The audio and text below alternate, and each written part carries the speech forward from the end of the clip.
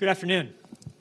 My name is Ryan Hass. I'm a fellow here at the Brookings Institution, and it's my pleasure to welcome you here for today's panel discussion on the US China technology relationship. This event is the culmination of research effort that's been led by Georgetown University's Initiative for US China Dialogue on Global Issues, involving 12 leading innovation and globalization experts from the United States and China.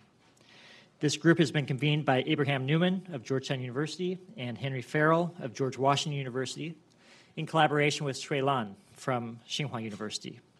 The group has met three times over the last uh, year or so to develop and pursue a shared research agenda on the role of technology in the United States China relationship and on pra- practical steps that could be pursued by both sides to advance the relationship.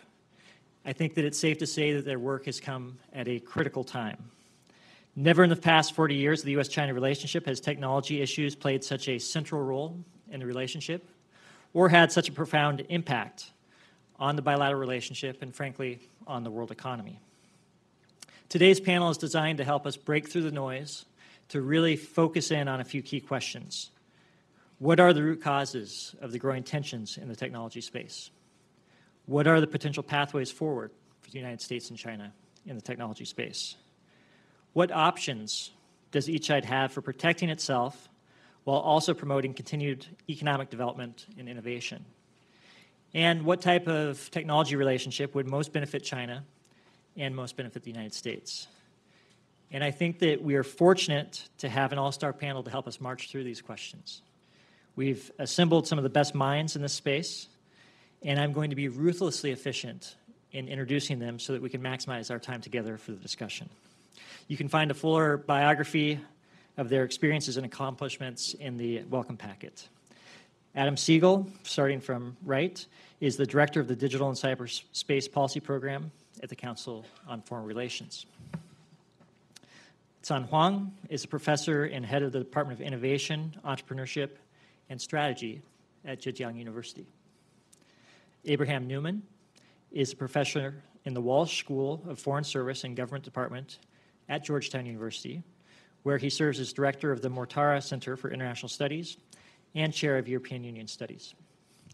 Henry Farrell is a professor in the Elliott School of International Affairs at George Washington University.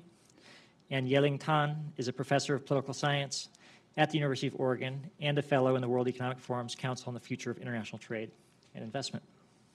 In terms of our format today, I've asked each of our panelists to provide a few brief framing remarks to help us situate where we are in this story. We will start out with Abraham and then Henry, then Yeling, Can, and close with Adam. I will then pose a few questions to the group to try to tease out a few additional areas of exploration. And then we will turn the conversation to you for a interactive and I hope robust question and answer session. We will wrap up by 2.30, uh, perhaps a few minutes early. So with that, I would like to pass the floor to Abraham. Great. Thanks, Ryan. Thanks also to Brookings for all the support in making this happen. We really appreciate it, and it's such a great venue to have this conversation. Um, let me just start by saying when we started this project, it was two years ago in May. Um, this was before the ZTE case happened, and we brought this group together. We thought this was a sleepy backwater of US China interaction. And as the audience here, I think today can attest, this is now really at the forefront. You know, it's in the news every day, and you know, we're very excited about it, but I think it's for many people in the group, it's, it's a shocking uh, turn of events. And I think that's why it's so serious that we get together and have these conversations with our Chinese colleagues because you don't really know where these where the next kind of hot button flash uh, kind of topic might emerge. So let me just kind of summarize a few of the key results of this conversation that we've been having for two years.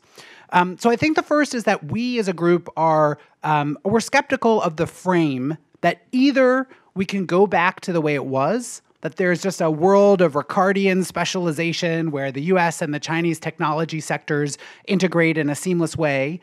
And we're also skeptical of the conversation that we can just decouple. They'll just be, you know, we'll just be separate blocks, and our technology companies will go back uh, to having kind of almost an autarkic relations. So either framing it as like we can just have the win-win continue, or that it's going to be zero sum um, is probably not going to be a great way forward for the two countries.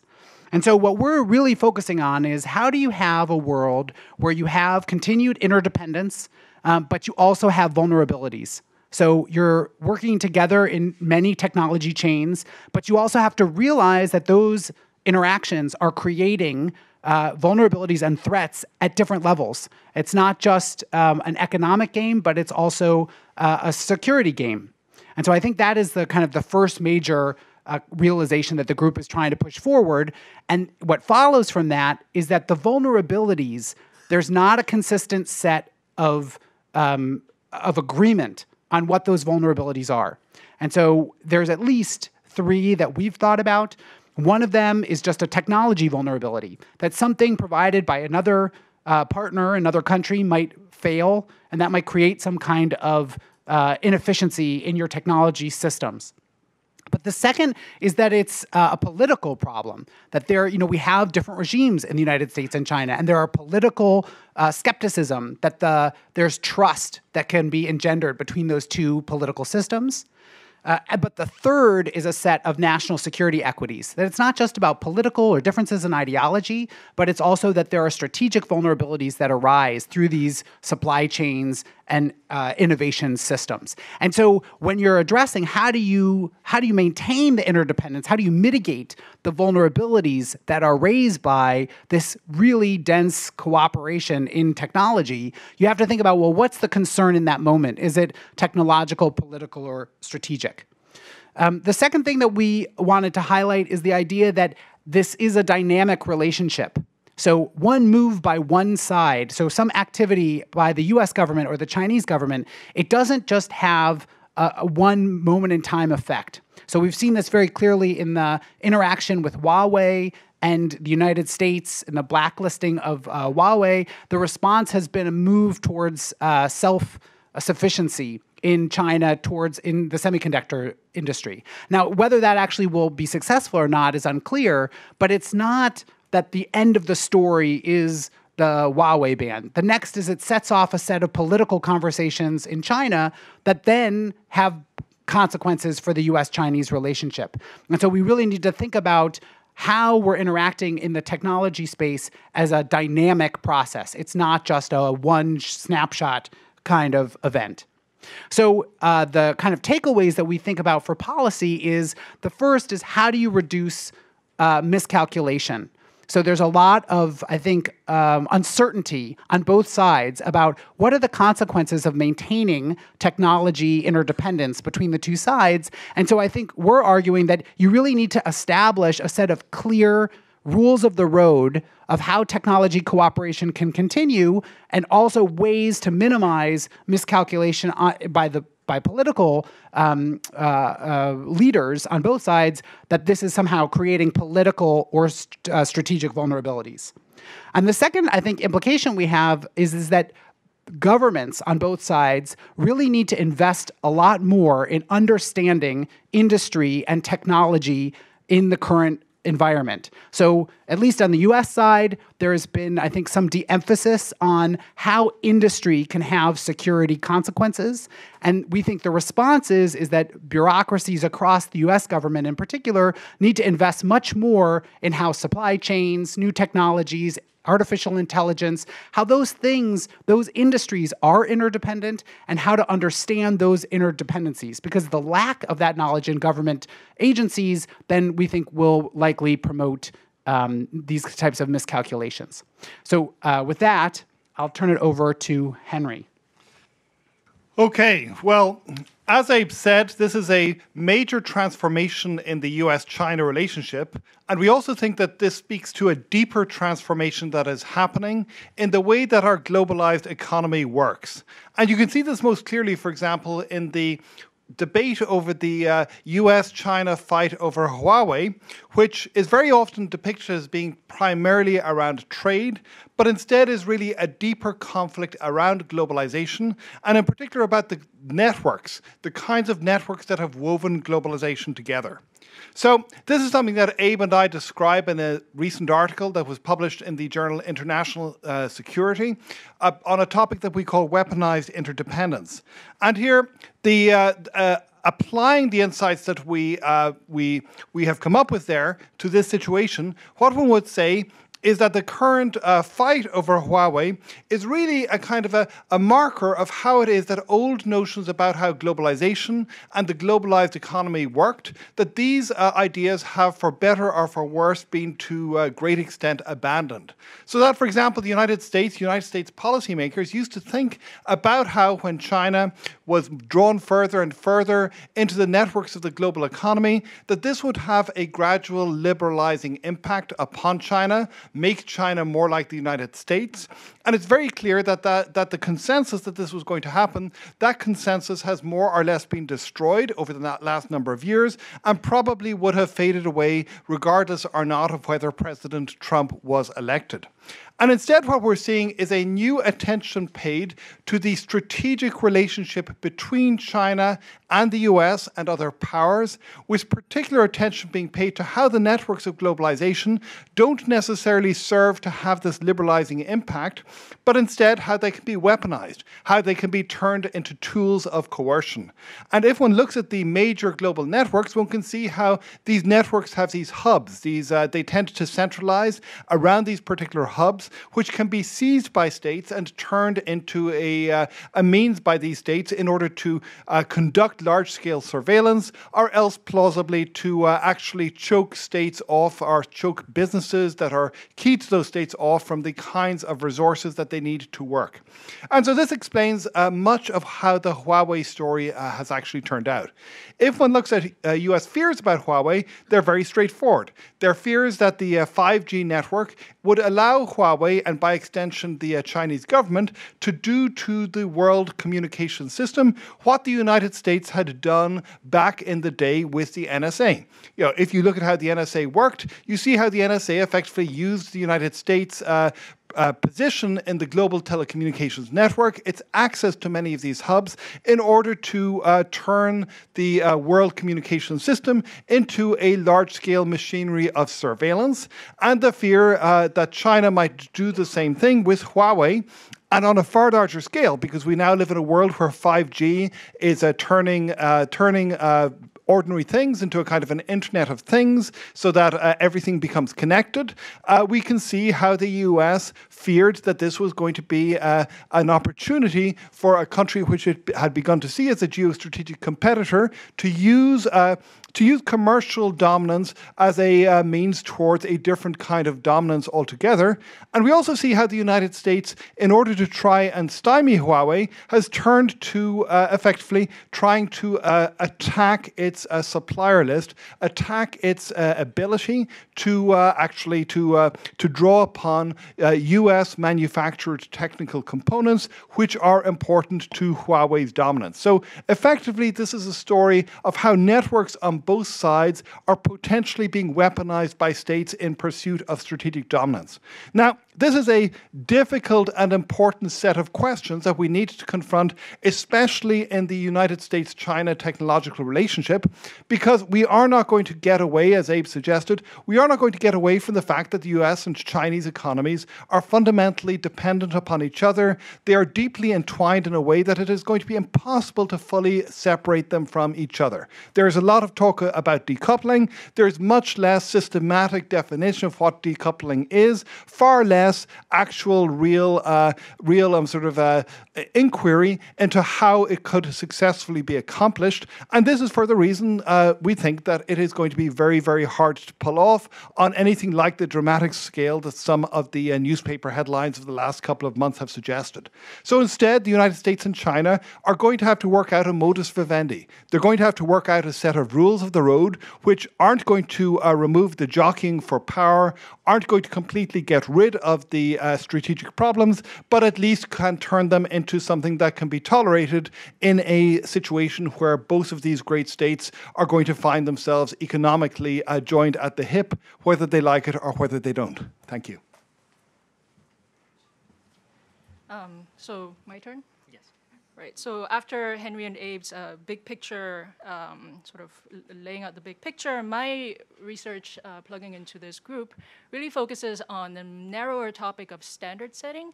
And I'm going to encourage the audience here to think a little bit more about the domestic politics happening in China and how that feeds into the US-China strategic rivalry and questions of economic interdependence. So I focus on standard setting because obviously it's become the object of strategic interstate competition, right? As high-tech standards come to carry not just benefits of interoperability, but also reaping monopoly economic rents and carrying with them very tricky um, security implications. And amidst this competition, there's been growing attention and concern focused on, out, on, on an outward-looking Chinese state capitalism as a potential threat, right? A threat not just to leading firms and high-tech sectors, but a threat also to existing global standard-setting institutions and, pol and, policy processes. So my piece of research in this group really questions these um, these perceptions, right? It questions assessments of Chinese standard setting as a product of a coordinated, quote unquote, China incorporated. And it questions frameworks that portray Chinese standards as being driven by an overarching techno nationalism. So, in the five minutes, I'm just going to make three quick points. First, the first point is that while China is a one party regime, it's the government standards policies are more the product of an internal competition between powerful techno-globalist and powerful techno-nationalist agencies, rather than a, a, product of a coordinated China incorporated strategy. This competition doesn't apply just to standard setting, it's deeply entrenched, it's long-standing, it extends to other areas of industrial and economic policy, and more often than not, it hobbles the ability of the Chinese government to act cohesively. The second point I'm going to make is that globalization and this deepening interdependence between the US and China has raised the stakes of this interagency competition and affects the distribution of power within the Chinese bureaucracy and something that I think we need to pay a lot more attention to. So as China has liberalized its economy and become more integrated with domestic, uh, with global uh, economic institutions, this domestic intra-bureaucratic contestation over standard setting has become more and more intensified rather than more and more coordinated. To give one very important example, when China joined the World Trade Organization, as, as its major and a, major event in its economic integration, WTO rules on standard setting actually empower the techno-globalist agencies within the government who advocate the adoption of international standards, strengthen the establishment of new standards through rather than around global standard setting uh, structures. These, globally, these globalist agencies within the government, it's important to remember that they're traditionally quite weak right? They don't have that much influence compared to the more powerful economic plan planning agencies. And it's precisely global integration that has given these agencies much needed leverage to push for liberalizing reforms and internationalist standard setting right? This uh, uh, uh, empowerment effect led to an overhaul of the standard setting regime within China, the institution of new regulations uh, when China joined the WTO to encourage the adoption of new international standards, and a domestic push for glo globalism as a path to technology upgrading, which stands in stark contrast to nationalist approaches that privilege indigenous standards.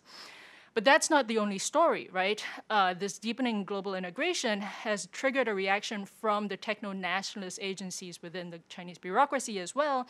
And these very powerful techno, techno-nationalist developmental agencies like the National Development and Reform Commission have fought to re retain their policy influence over key industries by exploiting gaps in the global regulatory structure. So while we have very detailed rules for governing trade, we have fairly thin global rules for governing investment. And this is really really important to, to understand because control over investment approval is a large source of power for these domestic agencies. And in China, investment policy is fundamentally intertwined with technology policy. So as a result, it's these techno, techno-nationalist agencies that have had the scope to set standards policies aimed at technology transfer and close collaboration through investment policy. So the third point I want to make is that depending on this interaction between the global regulatory structure, the trading system, the investment system, and the domestic political competition within the Chinese government, you can have many different outcomes, right? Chinese standard strategies could alternately strengthen, maintain, or reshape the glo existing global standard setting landscape through a variety of channels, and it's driven not by a coordinated China incorporated, by different, but by different sets of domestic agencies. And to bring this back to the current uh, interstate rivalry between the US and China, one intended consequence of US policies to decouple the US and Chinese economies is that they, these policies have generated negative feedback effects that undermine whatever leverage the techno globalist agencies have had to advance their agenda these policies have ended up empowering the very techno the very techno nationalist agencies that the decoupling policies are meant to guard against right? Enlarging the policy influence of the nationalist agencies in the domestic bureaucratic contest. And in this way the te technology conflict and chinese state capitalism have ended up becoming a self-fulfilling prophecy thank you Thank you very much. Okay, so thank you for having me here. So uh, I just want to a few observations about the topic related to today's uh, um, uh, um, the panel.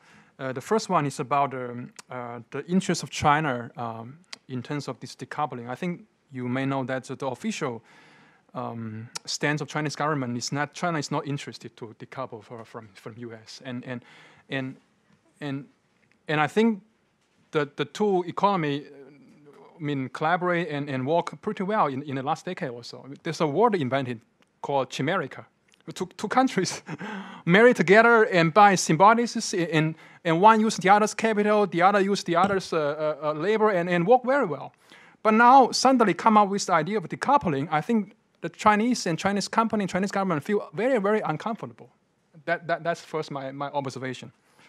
And now the second thing is that, so if U.S a lot of action actually see from Chinese side is, is coming from US, US side. So US take actions and Chinese has to respond. And a lot of response are, are, are not very prepared. And, and, and, and then if US uh, continue uh, down the road that's to really uh, sever the two economies, I think that will bring back the, um, the feeling to, to Chinese or Chinese government a bit of the idea of deja vu in the, in the late 1950s when Soviet Union pulled off all its exports from Chinese first five-year program. And then basically all the Chinese high-tech or media tech project, military uh, development project was stopped because of the, the, the, the Soviet Union uh, export left. And but somehow China find out it has to uh, build its self-reliance on its own capability and then uh, reemerge, reemerge from, from, from the scene. So then what's the consequences of that? If we will learn from the history of that part of history, he said China was not hurt. Actually, China built up its own system, manufacturing system, industry system, and which today China has the China is the only country in the world has all of manufacturing sectors cover all the uh, industry classifications defined by UN. It's the only country in the world. So the consequences of China actually for many Chinese probably is not bad. Huh? So then who are going to suffer more from this decoupling? A lot of Chinese think probably it's not China. Because, because if China can, can buy from the US, actually work very well for Chinese company. Because they don't need to push, uh, put so much effort to upgrade their capability, and, and that part the US company did is very hard. It's a crown jewel of the high-tech industry, and China has difficulty to, to, to grapple, I mean, to, to grasp it in, in very short time. But now it forced no, it become uh, no choices, has to develop it on its own, then it's got to be done, and then a lot of incentive will be put on that. One example of that is that the Huawei instance, China's government just exempt of the uh, value-added tax for all software companies in China. So those companies benefit from Huawei suffering. But then it will actually promote this uh, industry and then will create incentive for more talents to work in this industry um, in uh, software as software engineers.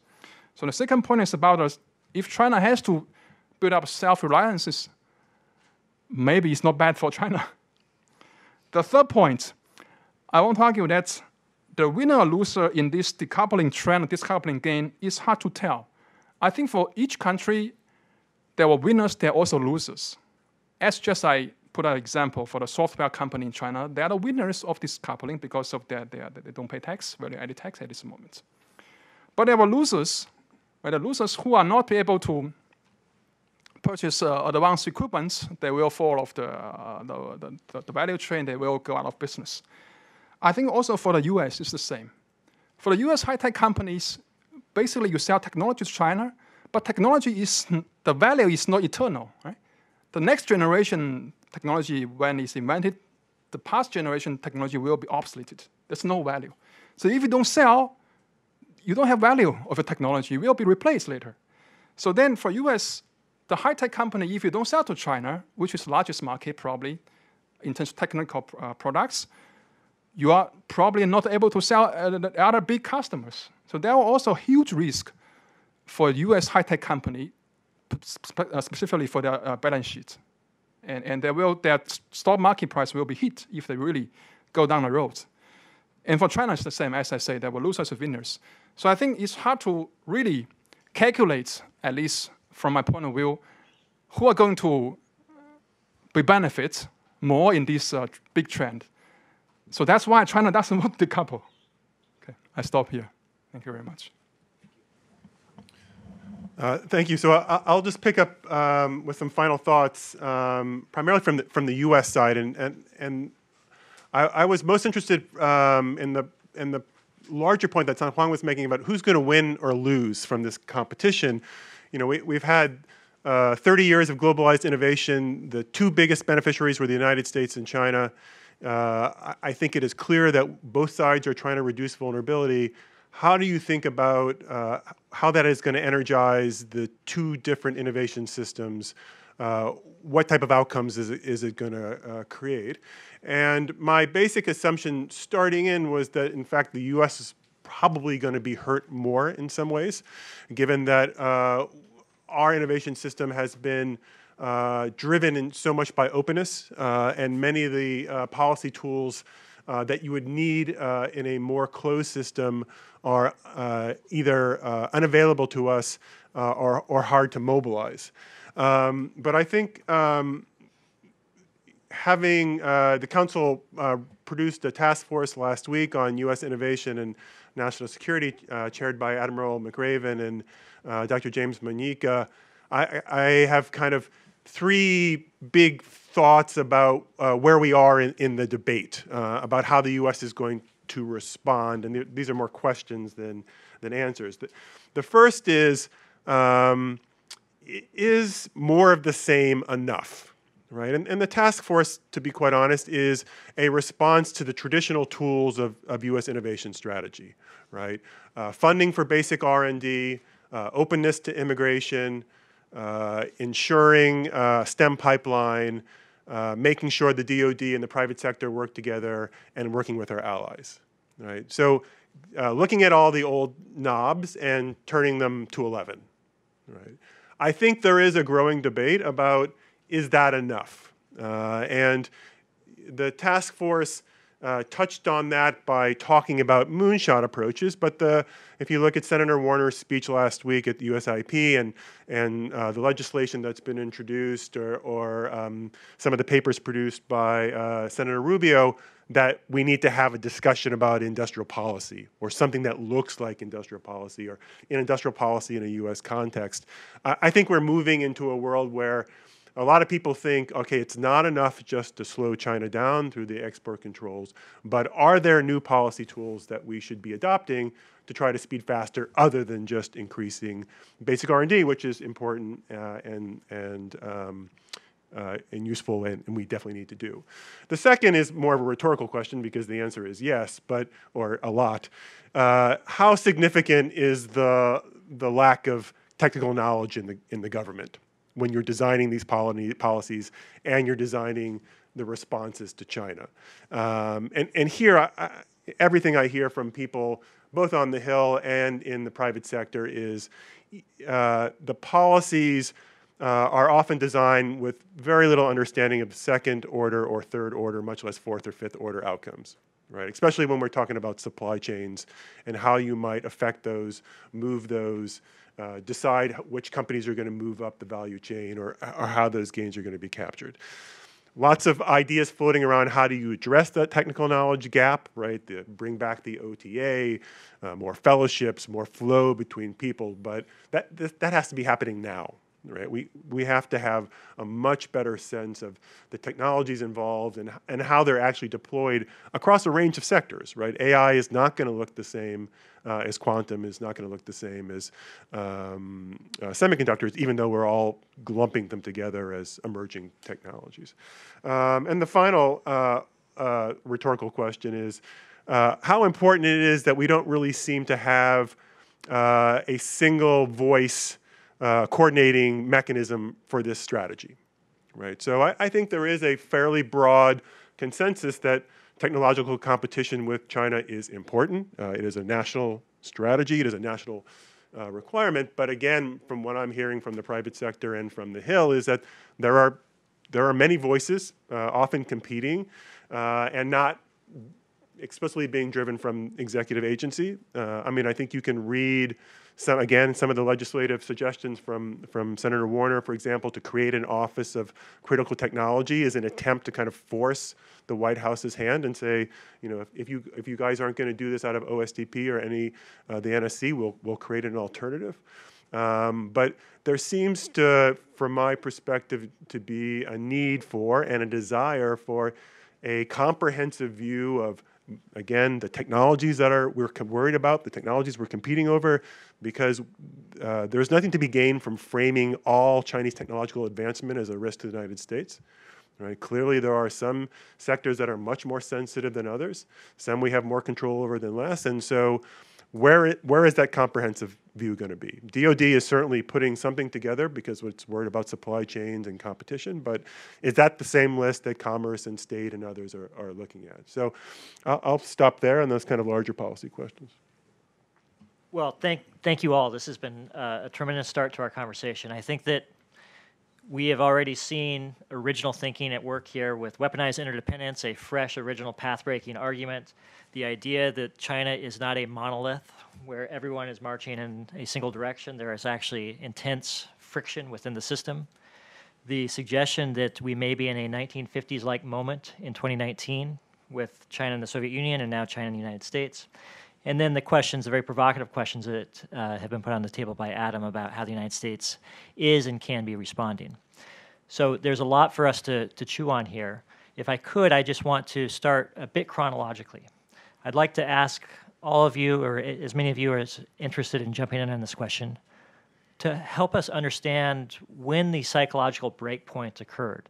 When did the United States and China go from viewing the economic relationship as mutually beneficial and leading to increased efficiencies to all of a sudden becoming seized by vulnerabilities and taking more of a defensive crouch to try to protect against uh, risk of exploitation by the other?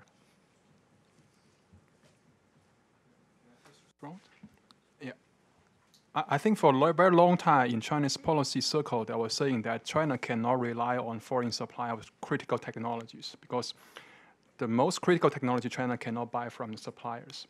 That's been saying for maybe a decade or at least a very long time. But nothing has happened. So people don't tend to believe that it will happen until the ZTE incident in 2017. I think that's the, the very moment that's I think it's watershed event in, if we look back in future, back to in retrospect, that will actually change psychological uh, uh, of the Chinese policymaker. That things can happen. That, that one big multinational company with 80,000 employees can be killed in one night. No natural disaster can kill a company in, in one night because the multinational company, they learn to adapt to the natural disasters. They will uh, reduce their risk by, by well manage the supply chain. They will uh, not put all the basket in one, uh, not act in one basket, but they had not prepare for government force. And no company can survive facing a most powerful government in the, in the, in the planet. That will that create the urgency for Chinese policymaker and business community that this can happen to us one day. And one year later, it happened again to Huawei.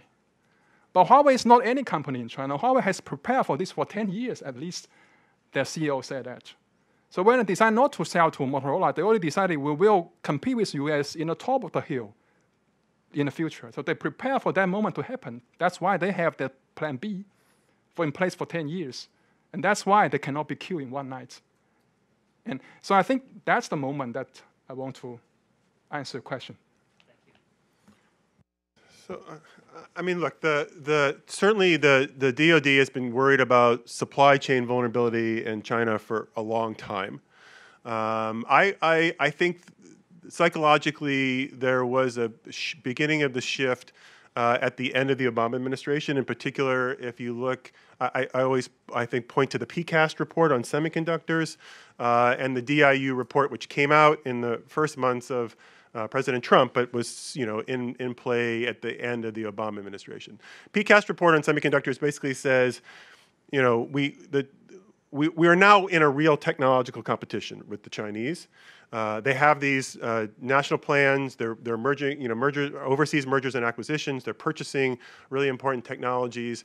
We still think we can outrun them by openness, but we may have to uh, resort, uh, resort to other more interventionist policies or, uh, or, or um, uh, sanctions against China. And then on the DIU report, that really, I think, flipped the switch on suspicion about Chinese technology, uh, Chinese investment in early stage uh, in the United States, and that uh, you know CFIUS is not going to work. It's not working the way that it should.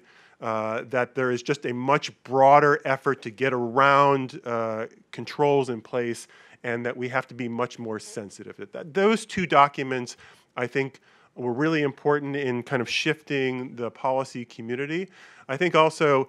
Um, you know, there, of course, was uh, Xi Jinping coming to power uh, and consolidation of uh, cybersecurity law um, and the creation of the, uh, the small group and, and, the, and the beginning of what clearly looked on the Chinese side of efforts to re reduce their own vulnerability, but by squeezing US tech companies. Um, that shifted the business community uh, in a large part. I, let me just add that I think that um, the that in many ways September 11th and the consequences of September 11th play continue to reverberate in these conversations. And so, what I mean in particular was that after September 11th, the US government started to think about alternative tools in order to fight terrorism. And they focused very much on how global economic networks could be used in that fight. And so if you think about the SWIFT system, which is the global banking system, though it's a secure messaging system that banks use to make bank transfers, the US government targeted that system as a way to basically know what adversaries were up to, particularly terrorist adversaries, but also rogue states was used then in the Iran sanctions program. Uh, in addition to that, the NSA programs that were used to tap into global internet infrastructures also did the same thing, where it said global economic networks can be a tool uh, to uh, kind of a forensic tool to figure out what adversaries are doing. And it, these all came to the head in the Snowden revelations when it was made very public of how global economic networks were being used for coercive ends. And I think if you see some of the responses by China, but also by other uh, you know global actors like the European Union, it was an effort to uh, buffer themselves from and insulate themselves from how these global economic networks might be used in a coercive way. And the cybersecurity law, the data localization requirements in China, I think are very much a reflection of those concerns um, that were put on the table during that process. Uh, just to point out that there are two words which have not been uttered by any of my fellow panelists. They are Donald and Trump. And there's a good reason for that, which is that it's very clear that most of this stuff would have happened, albeit in a slightly different way, if Trump had not been elected as president of the United States of America. That uh, the uh, security shift had already happened, as Adam said, in the uh, towards the end of the Obama administration. A Clinton administration would likely have been uh, quite hawkish on these issues as well, and probably would have been more consistently hawkish and would have not had the uh, persistent tendency that President Trump has had to try to bargain away uh, concessions over ZTE or Huawei in return for trade uh, things that he views as being more important. So this is a, you know, so this this could have happened in a variety of different ways, but it really is a structural transformation that has happened, which is not which has been exacerbated in some ways by the chaos and craziness of the uh, policymaking process under Trump, but which is uh, not a product of it. So, so I totally agree, and I, I, I, think that the structural frictions between the, the two countries go back um, and predate the, the current dynamics. So I think, Ryan, the question you asked is really interesting, right? Like, when did this all start? And there are a bunch of explanations out there kind of all floating around in the ether. Some think of Made in China 2025 that was issued in 2015 as, as this, you know, critical moment. Some attribute it to Xi Jinping coming to power and his centralization of power and everything he's done domestically. Some attribute it to 2008 and the global financial crisis because China's huge stimulus really, you know, um, kind of supercharged the role of state-owned enterprises within China. Personally, I think that the more important turning point predates all of that and, and happened around 2006 with the issue issuance of the 11th five-year plan that really kind of focus, place much more policy focus on indigenous innovation. And it coincided again with this this this um, dynamic I was talking about earlier with external leverage. It coincided with the completion of a lot of China's WTO accession protocol commitments. So you had this declining external leverage, and these developmental agencies kind of pushing their their um, industrial policies. And what's really important to note is that if you if you I think that it predated all of these events because is because if you look at the data, right, the AmCham survey data, they survey their firms every year, is around 2005 that business sentiments really started dipping. If you look at the USTR reports on Chinese uh, China's compliance, it's around 2006 that the tone really starts shifting um, to to become a lot more negative. So I think it's important to look back, kind of not get too distracted by what's going on right now.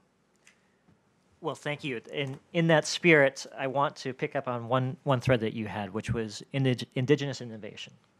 This idea that China will become much more dependent upon its own sources of supply and much less willing to trust that the United States will continue to provide the inputs needed for China's continued economic growth.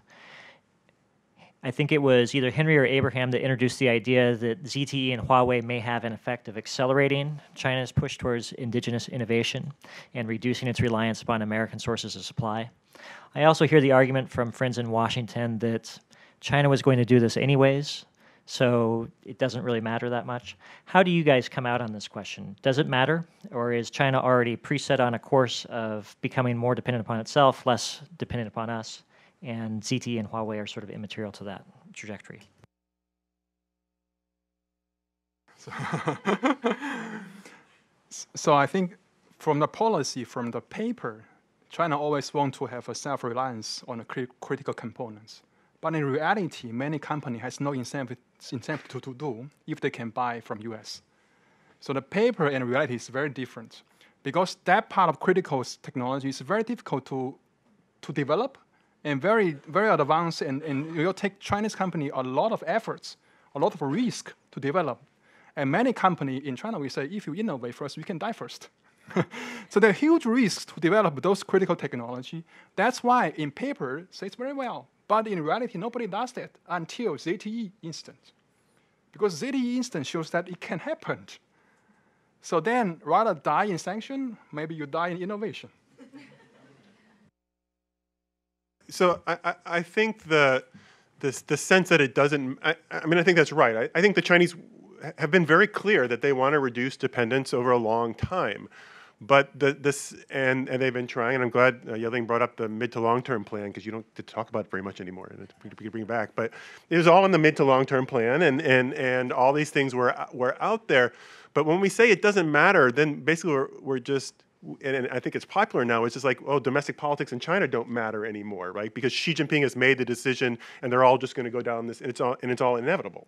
And I and I think you know part of that's the backlash against engagement and, and everything else. But you know, there, as as Can Huang said, there is still domestic politics in China, and it is clear that you know they were never the dominant voice. There's there was a, a voice um, in China that said, yes, we want to to move towards self reliance but the, we're most likely to do that through the way we've been doing it the last 30 years, which is through opening up and engaging supply chains and, and, and investing it.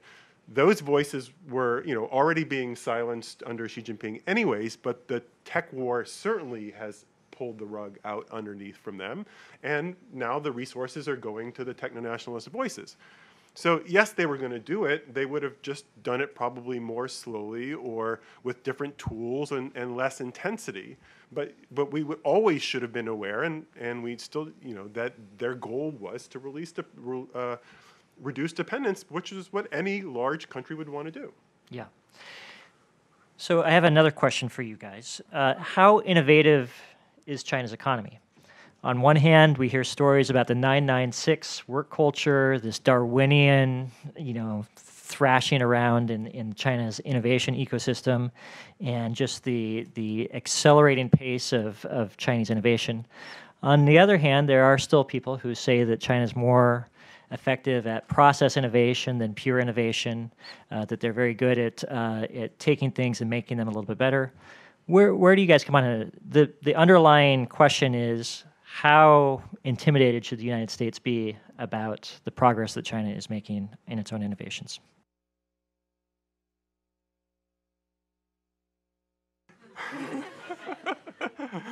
So, so I'm from business school. So I, we, have, we hold our forum regularly with, uh, with the Chinese top CEOs. Uh, and and what my observation is that China is very good in doing things from 1 to 100. Not so good in doing from 0 to 1. And I asked this question to a top CEO of Chinese uh, uh, top company uh, managed by central government. He agreed with that. Because I just listened to his speech, and he said that I only invest in R&D project which I saw the ex example of success in other part of the world. And when my subordinate report to me the new project, I asked him, has anybody done that before? He, the point is the pitch all revealing this. So I asked him in openly that, is that the way you look at it? He said, yes, indeed. And many Chinese top companies, they have the same view. They are not comfortable in doing from zero to one. But once they saw a successful example, they can very efficiently scale up the, the production capacity and then to from 1 to 100. China is very good at this. So I think actually now US is very good from 0 to 1, and China is very good in 1 to 100. The best to two countries work together and not to fight with each other because each has its strengths and weaknesses. Um, so I just want to pick up on Ryan's point of how worried should we be, and and this is I think one of the insights of our group is that um, it really depends on what set of equities you're prioritizing. So, you know, and these often get mixed up in this conversation. You know, is the concern that this will become a national security threat, that there's some innovation by the Chinese in AI that will not just be an economic concern, but it will be a security concern? Or is the concern a kind of a um, that certain certain sectors are winner take all sectors? So if we fall behind, then we'll, you know, or is the concern a China shock you know so anyway by by identifying what the actual concern is i think it really helps you think about how worried should you be? But the other thing, I mean, at least in Henry's and I, our mind, you know, we're really concerned about the national security zone. You know, when is it this innovation could threaten us? And for us, it's really about these hubs, the control of a central kind of uh, technology that everybody has to route through to get their products or processes uh, processed, because that's where you get this choke point, the ZTE effect. And there, I think we need a set of rules of the road of like, don't attack those hubs. You know, like the US uh, was in a period, it was almost like a kind of a Bay of Pigs moment where the ZTE and the Huawei cases, they, I don't think the U.S. government even really realized how, uh, what kind of an earthquake that would unleash in China, because they didn't really think about it in this way. That there are certain areas of the technology chain that if you weaponize those, you're putting the existential life of a country's companies at risk. And so we really have to think about which are those key hubs and how do we then create a kind of a, you know, a no first use policy around them. I, I think, uh, you know, Can Huang and I had a debate about this two years ago at, at um, CSI, CSIS, and, and we basically agreed. I, I mean, I, I think that's right. You know, uh, China still does not have the system in place to create new to the world, fundamental science based innovation. They're building it, they're trying extremely hard, they're getting, I think, a lot closer. Um, but I, I, think there are things to, you know, it's going to come. There's, there's, there's no way it's not going to come. Quantity has a quality of its own, and even if uh, uh, you know there, the uh, Xi Jinping, in many ways, is moving in the wrong directions for the intellectual atmosphere and the free flow of ideas and, and, and all those other things. Uh, it's going to come, right? There's just no reason to believe that eventually there won't be, given just the amount of resources and things like nano and quantum and synthetic biology, where you know the U.S. is slowing itself down because of other concerns, that there's going to be a major breakthrough in China. And you know, one to 100 is pretty important you know, over over time, and we know that, you know, the Chinese are are um, it's incremental uh, innovation, but it's really important business innovation, and you know, we all know from the fintech side and everything else that the Chinese are, you know, ahead and, and getting even farther ahead. Um, so, I have you know, historically argued that the U.S. is kind of um, lead in kind of science-based innovation is pretty secure. I, I think that's still true, but I, I just I, I am less certain these days that the, that the Chinese are not getting closer to the type of breakthrough that we think has been out of their reach. I mean, I, I think it's a bit of a mixed bag. I mean, you see examples of tremendous successes. You read a little bit less about the tremendous failures, but there are also a lot of tremendous failures out there. And, and I think if you look at the successes, you know, some of the best companies and innovators that have come out of China have succeeded in spite of industrial policy rather than because of industrial policy. And so, you know, I, I, think it's important to to read national policies like Made in China 2025 with, with a bit of a grain of salt. Um, and it's not that the Chinese government is, is so tone deaf uh, in, in, terms of what is required for, for a healthy innovation system. It's because of these internal coordination problems where a lot of central plans, you know, get distorted at, at, at local levels. Um, but at the central government itself, you know, was I was talking about this with uh, Professor Liang earlier. You know, the central government's thinking about industrial policy has evolved as well to actually be a lot more open to market-based forms of innovation and thinking about how to encourage firm-based uh, activity rather than everything going through administrative guidance. So I think it's it's a really mixed bag. Okay, I want to uh, be a bit dramatic for a second.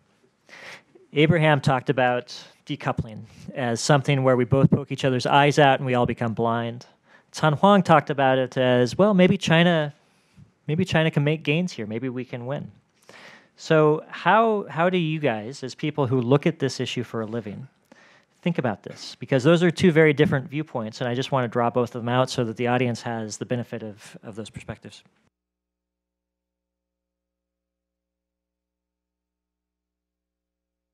Are we going to all become blind, or is one party going to win? Okay, I'll jump in first, which is that, as I said, uh, decoupling is one of these words which nobody quite knows what it means in practice. It's uh, you know it, it, it clearly means that in some way or another the uh, Chinese and the U.S. economies would become disengaged from each other. You see aspects of this which are already happening in the uh, tech and innovation space, uh, the uh, greatly increased suspicion of uh, Chinese-born scientists in the United States. You, you know, you can you can see also uh, this happening in supply chains. You can see a lot of stuff happening. But the but when people talk about decoupling, I think they usually mean something which is much, much, much more substantial and much bigger than that.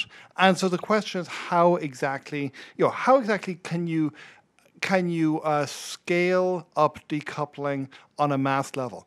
And it's really, really hard to do. We've already heard about how difficult it is for China to actually do stuff. You know, so there are grand pronouncements. Uh, implementing them uh, through a very complicated and uh, contested policy system domestically is really hard. We see that with the United States as well. The United States government has uh, tried and failed for a period of, I don't know what, 15 years now, something like that, to try to get through comprehensive cybersecurity legislation. Uh, the United States, uh, when, it, you know, when, when it comes to imposing regulations on business, it's very, very hard to get stuff through Congress. So the United States uses things like procurement policy. It uses standards uh, as ways to uh, try and achieve uh, these goals at second hand, but it turns out to be very, very difficult to do this really comprehensively. So I would love to see, you know, so I think I think that the answer to that question, as I say, is that I don't think that decoupling is going to happen on anything like the uh, scale that people says that it is. We are clearly going to see some decoupling in that, uh, especially in obviously sensitive sectors. We are going to see a, a move on both sides to uh, try to uh, separate supply chains to uh, protect against a variety of threats, whether those are subversion of the supply chain uh, is one threat, whether it is removal of key elements uh, from international supply chains in order to uh, cripple companies is another. We are going to see that shading to some degree into a variety of other sectors because we're now in a world where uh, pretty well everything has potential security consequences. You know, self-driving cars is one obvious thing uh, where you know, so if you can think about uh, how they could have very unfortunate security applications if they were compromised, but we're but it's not going to be possible, I don't think, to really decouple on a uh, comprehensive level both because the economies are too deeply interpenetrated with each other and because neither side has the tools that they would want to really impose this on the micro level on businesses that are going to have different interests and different commercial interests, which are going to push them much of the time to want to work together with each other. Um, yeah, and I would I would just say I think that the word decoupling is is is a bad word. And I think we should I think we should avoid it because I think it gets away from the real question, which is how does interdependence between these two economies create vulnerabilities? And when you say decoupling, you you could mean anything. You know, it could be like we're going to turn into France I mean? France has a lot of regulations about how people enter their market, use their market. Is that what we mean? We don't like to say that because we don't like to talk about regulation in this country. But you could imagine a form of a evolved U.S.-China relationship that is just we have more rules about market entry and use. You know what? China has a lot of rules about market entry and use, and it's not like a geostrategic conflict about it. It's like, oh, we don't like that. Our firms would less like less joint ventures. You know, like so you could imagine a relationship where it's like interdependence and vulnerabilities where we're targeting those things. If you really go down the path to decoupling, I mean, we are seeing the live action train wreck that is happening in Brexit, which is real decoupling. That's, you know, that's what you're talking about. And the fact is, is that that is not what we want. You know, like that, the consequences of that would be really significant. I think it's much more productive to think about types of interdependence raise vulnerabilities. How do we address those vulnerabilities? Yeah. Very quick. Very quickly, we should think about mitigation rather than decoupling. I really, I really think it, it depends on where we end up in the debate on, on this side, quite honestly. Um, so, uh, I, I, mean, I agree with uh, Henry and Abe that yes, if you're thinking about it as there are these vulnerabilities, they exist in certain technologies or supply chains, you want to mitigate those, then then you think about, you know, well, you'll decouple a little bit, or you'll reduce the vulnerability in this sector, but it'll be fine in that sector. But reading some of the the speeches most recently that have come out of the administration where they have basically are talking about the fusion of the party state and the technology sector right? That especially when they refer to civil military fusion that the two are now essentially inseparable. Um, and that you know anything we do with the chinese or any technology company that chinese technology that benefits then benefits the the Communist Party and surveillance and repression uh, and military power projection, then you know I, I don't think it's realistic as uh, uh, that we fully decouple because I don't I just you know from a practical perspective. But that strikes me that becomes the goal in some people's mind when it is no longer just a mitigation contest. It's an ideological contest across the board, which is you know it's a much different type of competition. Great, thank you. Um, another issue that gets raised on occasion is this idea of the emergence of separate technology blocs, with the United States leading a bloc mostly of developed countries and China leading a bifurcated bloc of mostly developing countries. On a scale of 1 to 10, with 10 being most likely, 1 being least likely, how, how likely are we to see that type of dynamic emerge in the coming decade? This and take a risk and go first. I think if you look at countries outside of the U.S. and China, neither of most of them don't want to be in a bloc. I, I think most countries want to be, you know, engaging with both the U.S. and with China. Good. Anyone else wants to jump in on that one? Uh, I, I think there's some possibility so if US really push hard on this direction, because definitely this is not China's interest. So we get a three standards on 3G tele, uh, uh, mobile telephony and two standard in 4G. Only one standard in 5G. Because why? Because company realize that if you have too many standards, you are going to duplicate your efforts to develop equipment for multiple markets. It wastes of the uh, resources to, to, to, to achieve the same goal. Now you have one standard, you can call everybody, and you just need to manufacture one set of equipments. That's it. So I think then what's the what about 6G? So if we, if US push push down very hard on this download, maybe 6G there will be two standards. I don't know. It's, it's prob- there's a prob- probability, but that's not good for everybody. Not good for, for, for the US bloc, not good for Chinese bloc, not good for any equipment manufacturer, not good for European manufacturer either. So I think the bifurcation system is not economically optimal. It's, it's politically uh, viable, but uh, economically doesn't make sense. All right. So I, I, I will speculate where it could emerge. I, I don't think 5G is likely. I think, uh, or, or 6G for that matter, because I think, you know, most of the countries that we are trying to convince not to use Chinese product are basically thinking to themselves, look, I'm going to get spied on by both the U.S. and China, um, and it really doesn't matter what I doesn't matter what I do and I might as well at least get the best product from the US and the best product from China, and I'll get spied on. That's what's going to happen. so I, I, don't think that's going to be on 5G, 5G and, and 6G. Uh, it could be uh, on uh, uh, things that are the data intensive. So on the surveillance or big data and how that data is gathered and used to the extent that uh, this increasingly becomes a value competition between two systems which again, I'm not sure I believe that it is, but that is how it's being framed. Then, especially if the US and the Europeans could get uh, you know, a true agreement on data privacy and transatlantic data flows in place, which is unlikely to happen, but just say we could, then I could imagine people saying, yes, I like this system better about how, how data is treated and used and I'm not really comfortable with how it's being used in that system. But we're a long way away from getting what that common European US view is. Um, and it's easier for the Chinese to, you know, right now go to countries and say, you want a smart city? Great, we're going to build it. Here's all the capabilities. Here's what you can do with all the data. One possible way in which that might happen uh, and this turns to what I was saying about the weaknesses of the US state, might be through uh, effective US regulatory outsourcing to the European Union.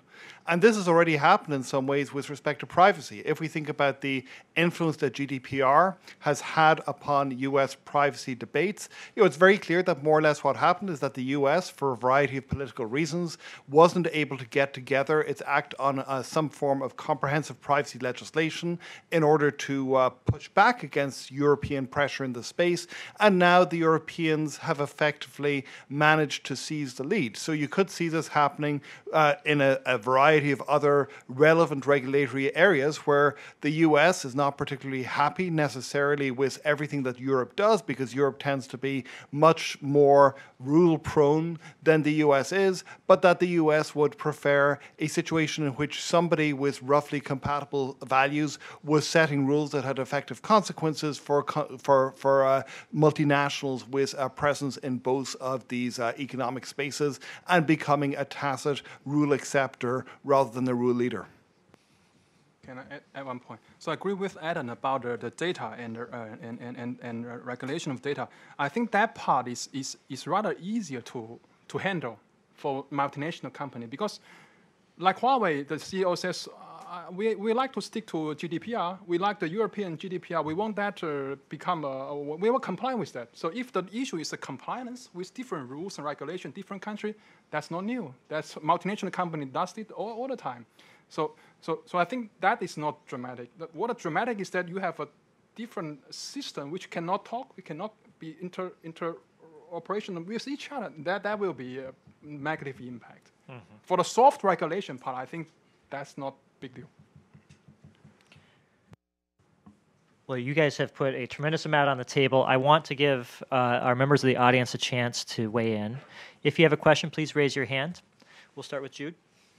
Uh, yeah, I just a question. I think coming out of this was this idea of really national security. And for people like me who don't understand anything about technology, it seems that there's a sort of no outer bounds of where this discussion will be going, and everything seems to be national security seems to be weaponized, always by China with sort of Xi Jinping's comprehensive national security outlook. But now here in the U.S., we say economic security is national security. Can you just give some thoughts on how we can be bounding?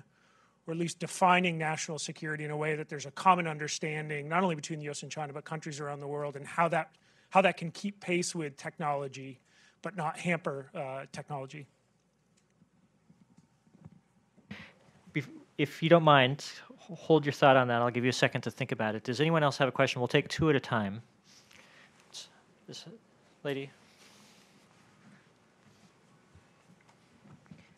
Um, hi, it's a reporter from Shenzhen Media Group. I have uh, two questions for Professor Huang. Uh, you mentioned that um, it's a bifurcation of the supply chain is not uh, economically viable. Can you elaborate with us more about this? And the, two question is, could this uh, U.S.-China technology tension, if the Huawei uh, uh, survival, can this be an opportunity for uh, for this company to promote the Chinese technology image? Thank you. Second question was posed directly to you, Professor Huang. So, um, so I mean, if you have bifurcation of the system, if you have two system or three system, it's not economically optimal. It's, it, it, it can be economically viable. People, companies just pay the pay the cost and develop three systems for supply the whole uh, serve the whole world, but it will have high incur, incur higher cost than you have just develop one system. Um, uh, and about the survival Huawei, uh, at least now uh, has not been killed. so according to the CEO, it's very hard to kill. And, and I think, but then we just have discussion uh, in the morning's, uh, morning's um, uh, session that uh, the Huawei CEO put, put forward an interesting proposal that Huawei want to license its 5G technology, including blueprint patents or tacit knowledge or to a to American company. So our colleagues say this is a bluff, and uh, the media also say that. But my view is that this can be a, can be a real offer, because my view is that there's a there's a, a imbalance here. The most powerful country in the world has no 5G manufacturer, and 5G technology is going to transform the whole society how come the most powerful country in the world has no manufacturer of this most powerful technology in next decade? That's, that's why the US has incentive stop Huawei to, to, to, to, supply more to, to more countries. But then if Huawei create a competitor in, in US or other company in US can manufacture that, Huawei has a competitor here, that will become a harmony. That will become uh, more balanced. Then Europe has manufacturers, China has a manufacturer, US also has a manufacturer. Then we see each other in 6G. So I think that can be a can be a real offer, and and and um, but we will wait to see the outcome of that. Another question. Security. So, um, basically, I think it was bound before because of the bilateral relation, relationship and the and multilateral institutions, right? So, um, in 2006, when the uh, mid to long term plan came out and indigenous innovation, you know, uh, was promoted as a Chinese policy, it, it was a concern. It was on the U.S. agenda, but there were so many other things on the agenda, right?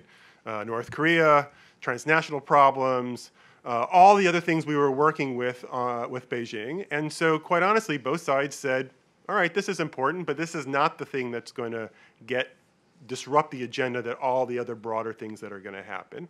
And now that we are, you know, confronting China across the board, these tech issues are all expanding because they fill all of that space. So you would have to get the other parts of the bilateral relationship in place so you could then have those discussions. The other is, of course, you know, the WTO says, yes, you can have national security uh, exceptions for what you're going to do, but right now nobody is relying on the WTO to make those judgments. So again, we would have to go back to, to a, a, time when both China and the United States thought that those multilateral institutions, or the, the that you know, I, I, don't think it's a great venue, but the open open working group on um, whatever they're calling it, information security or cybersecurity uh, at the UN, which is the, the, you know the competitor to the group of government experts, the Chinese submission says you know we need to talk about supply chain security and what you're going to do about tech companies. You know, the U.S. of course doesn't want to touch that in that venue, but you would then go to these international institutions. But now that the, both of those things have been weakened, I, I don't see how you get back to the, you could have those discussions without getting those other things in place. Just one thing to add, which is that there are different ways in which we can think about security here. One is a standard way of thinking about national security, and the other is to think about uh, how many of these problems can be solved better from an information security lens instead. And here, for example, people like Bruce Schneier has a, a uh, wonderful and lively entitled book, something like press here to kill everyone, uh, which uh, talks about the uh, security weaknesses of the Internet of Things, which uh, very often come about not because these uh, things have been designed specifically to be penetrated, but because these things have been designed to, to be extremely cheap, and uh, security comes in as a consideration at the last moment to the extent that it does at all. So, one question which I think we tend not to focus on here in debates in DC because we tend to be more policy and internationally oriented than uh, technologically oriented, is to what extent can we uh, look at redesigning uh, so, so that the attack surfaces of these things are limited, so that we have much less trusting devices, thinking about mitigation. And this can only go so far and also has to go together with a stronger regulatory approach than the one we have to date, which goes back to some of the problems discussed already. But nonetheless, there plausibly is quite an amount that you could do without getting into the national security space to address the uh, massive and ever expanding insecurity of the devices and the uh, things around us in the world. Great. Um, I just want to also say that I think like in many there's this vision that everything's a security risk and it's just ever expanding. Oh, uh, you know, uh, IP doorbells they're at a security risk now. We, we, we can't do anything with Chinese technology.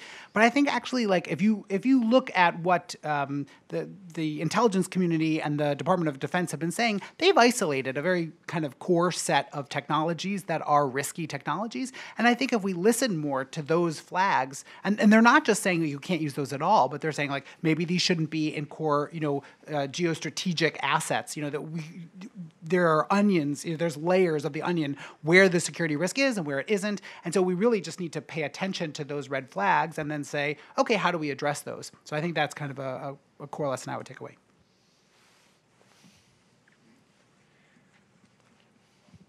Uh, hi. Uh, fabulous conversation. Um, Karl Polzer, and a lot of my work has to do with um, wealth concentration and evolution of capitalism. So um, I'm just wondering what if there's separation between the U.S. Uh, economies and China. Is there a political risk internally for China? This is the first meeting I've ever been to where I've heard about some of the political economy of China. The, there are competing bureaucracies. There, it's, I'm used to trade associations. Their CEOs come and talk to the uh, academics, and somehow they're all communicating with a very centralized top. So if you have slower growth, as we've seen, the, less of a win-win economy, and you have more risk, you got to do the stuff yourself. And uh, will there be more conflict between very powerful and now wealthy actors in China? Like when the Soviets left, they were all poor. Now you got lots of money.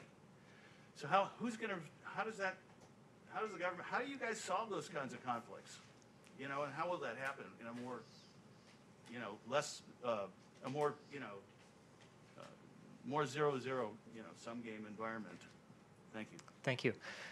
Uh, I think we'll take three questions this round, so if you don't mind logging it away. Uh, I saw Martin's hand next.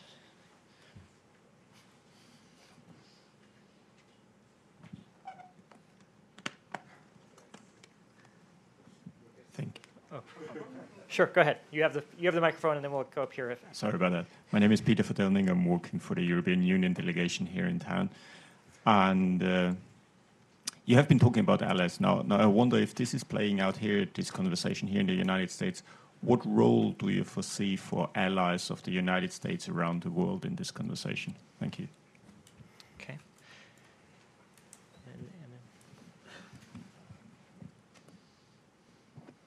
Bit of a follow-up on that and drilling a bit into what uh, Ryan was asking earlier about blocs. It seems like two of the most potent tools the U.S. is using, uh, more tight investment restrictions and export controls, are really only going to work if we get a broad coalition together. Otherwise, it's going to be like you know the famous study on commercial satellite, in which America eviscerated its infra- its domestic industry and didn't actually prohibit the spread of the technologies. To what extent do you think that Europe and Japan, South Korea, Israel, and others would go along with the United States and, say, through Wassenaar, uh, make those export controls multilateral and also have their own CFIUS style uh, investment restrictions that would be much more than what the EU has done today? Okay, so we have three questions one on wealth distribution effects, and the latter two on ally related issues. I try to answer the first question. So I think there will be significant political risk if things don't don't don't be managed well. Um, but I think the solution uh, from China's side, as I, as far as I see, is that just take pain. Because if you want to have a good deal, you have to take pain. I think it's the same from U.S. side. U.S. also makes sacrifice in this trade war, the farmers and so on. So, but why U.S. is not eager to reach a deal? Because U.S. want more in the better outcome in a deal. So it's for China. So I think both sides has to, if you really want to uh, reach the better outcome, you have to, you have to, you have to willing to make sacrifice. Uh, I'll take the, the allies question, which is I think that, I mean, this is kind of building on this point, which is I'm not sure that the US government right now has a clear strategy of what it's pursuing vis a vis China in the technology sphere. And I think that um, if the goal is to have an alternative 5G bloc, for example, if that's the vision, then um, what really I think the US government should have done is first create like a NATO consortium where it goes to our allies and says, you know, let's create a long term buying program from Nokia and Ericsson, and we'll create some alternative economic model so that that's successful. And then you spring the trap on Huawei and you say, I've locked down all of our allies with this alternative vision and then now we're going to punish you know this. But instead the government sprang the trap but there was no carrot already to the ally bloc in place to create that kind of coordinated strategy. And so i think now what you have is you have a version where the, the, the trap was sprung the allies don't know what to do and the Chinese or Huawei can go to each one of the allies and use salami tactics to peel off, you know, Norway, you buy this, this, and that. So I think that, you know, the, the key in these, I, I'm not even sure that we want to have that kind of bloc strategy, but I do think whatever the US government is doing in the technology sphere, it should be coordinated with our allies to think through what is a long term strategy to maintain both our economic but also our strategic security. And I don't have the sense that the current government is pursuing that. I mean, I, I think they're they're squandering. Quite honestly, I think there is a there is a genuine European concern about these technology flows. The you know the European Commission and others have noted it. There the calls for CFIUS-like policies inside of the the EU and Germany and France them, themselves. Uh, not, you know, uh, separate from U.S. pressure, the Israelis are probably going to get there mainly because of U.S. pressure. But I, I think there is uh, similar concern that you know, as as Abe was saying, we could have gone about building it in a different way as opposed to showing up and saying, "Here is what you're going to do," as opposed to what should we all do together.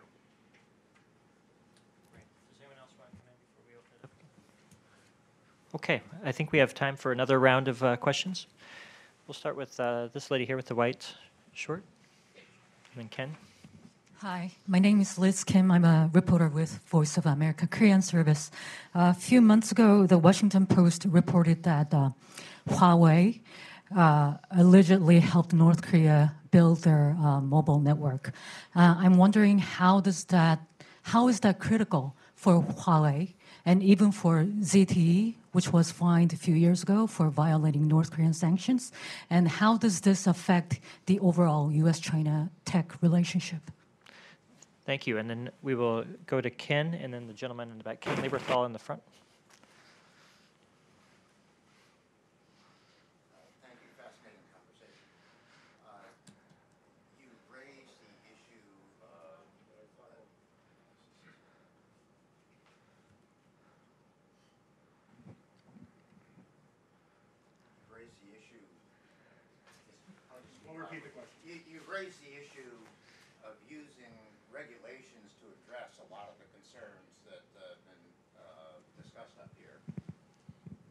My question is, regulations take a long time to develop.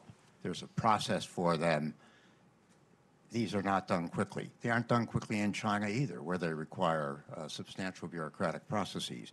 Given the rate of development of technology in artificial intelligence, in the Internet of Things, in quantum computing, in virtual reality, in 5G, et cetera, uh, isn't it the case that as you try to develop new regulations, the problems will have changed before the regulations can be adopted and come into effect?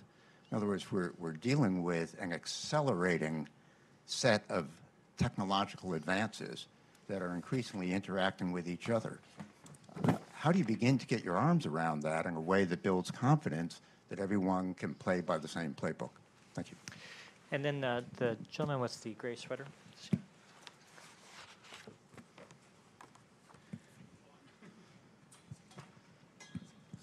Oh, thank you. Uh, Steve Winters, uh, independent consultant. Well, I think like to direct this to uh, Can Huang. Uh, could could you uh, make some comments on the Chinese view of the competition over scientific talent? Uh, of course, China had introduced this Thousand Talents program, and uh, from all my reading of the newspapers, it hasn't gone over so well in the U.S. Various people have gotten problems here for uh, being involved in that. Uh, uh, so, is China surprised by the U.S. reaction to the Thousand Talents program, particularly given that even today we heard here, and I constantly hear in D.C., the U.S. has to be open uh, to uh, the best scientific talents in the world, all coming to the U.S. and helping us with our developments. Thank you. Maybe I, ask, I answer the third question. So um, I, think for, for China, it's surprised, I think, but also sad to see what happened to those talents. those professors in the U.S. university, they were, they were charged, they were fired, they were, they were, they were, they were, they were targeted. Maybe they just, they just travel between these two countries, but when a political tide changed, they, they are the victims, I think, in, in, in, in this change of the time. So um, uh, for, for US, I, I, I think that, the, I mean, I think the competitive for the US is from, it's coming from the talent the US attracted from over the world. And then I think also it's not going to be good for US not, not uh, open a door for the, for, for the talents, especially from China. So I, I that's my, my, my, my answer. Thank you. Um, so on, on Ken's very brilliant point, um, I just I have a couple of reactions. I think I think you're absolutely right, and I I have two sort of reactions to that. The first is that this speaks to the need to do government differently, right, and to do regulation differently, and it speaks to Adam's point earlier about the need for greater technical capacity within governments, right, and it, it's not just the U.S. or China; it's every government. And I, I think the second reaction I have is that this is this gap. I think speaks to an, a, a, de facto vulnerability that we all have to get used to. I mean, if you, if you just think about it on a personal level, I know that if I connect to the internet and I have a mobile phone and a laptop, there are benefits to, to this connection, right? But I'm vulnerable, right? Regardless of how many patches I put on my computer and so on. I try to be a responsible user of technology, and I do everything that you know is I read out there on, in, in terms of how to protect my privacy. But in a certain to a certain degree, there's always there's always going to be vulnerability. So maybe it's you know on the one hand we need to do govern, government differently. On the other hand, we need to stop thinking we can go back to a world where there where we're no longer constantly in the state of being vulnerable, and so we need to have a conversation about mitigation. Just on the Korea thing, I don't know anything about the uh, about Huawei and North Korea, but ZTE is a, an interesting and complicated story, which I think illustrates another aspect of the problem, which is that the United States, more than anything else, it is a state of lawyers. And so, effectively, what happened was that ZTE had uh, had broken uh, pretty flagrantly uh, had violated uh, U.S. Uh, rules. You can uh, you can argue about whether or not uh, the US should be imposing these rules or not in the first place, had then uh, agreed to a set of penalties and had then sought effectively to be dishonest about its uh, compliance with those penalties facing the US was a very difficult choice. You know, so it, it, does it does it um, sort of uh, uh, ignore and pretend that it's blind, or does it seek to then uh, implement the uh, implement the penalties that it had suspended? And of course, this turns out to have pretty dramatic consequences, as has been discussed for the uh, debate within China. But for, from the perspective of the debate in the US, I suspect that the lawyers who were involved saw this as being a pretty cut uh, cut, cut and dried case where they had no choice but to impose impose these penalties, uh, come what may, and where they, uh, you know, so where they, they, you know, so they believed that they had little, little choice to do this, and were extremely unhappy, I would imagine, when Trump effectively bargained the, uh, bargained the penalty away in exchange for trade concessions, seeing this as something which would weaken the uh, credibility of the United States when it sought to impose penalties on uh, well-connected firms abroad in future. Thank you very much. I think that we addressed all three of those questions. I want to give the panelists an opportunity for a final comment or parting shot uh, before we wrap up. I propose that we start at the end with Adam and work our way back to me. Uh, I, you know, I, I, guess part of the takeaway is, you know, the continued use of decoupling, which I'm going to continue doing, um, even though it, I think the de declining, declining usefulness of it. Um, I don't know what to do with that, but I think. Um, the more we think about it and the more we talk about it in these venues, it clearly is not a useful comment, but I'm going to continue using it. So, so we have defiance from Adam.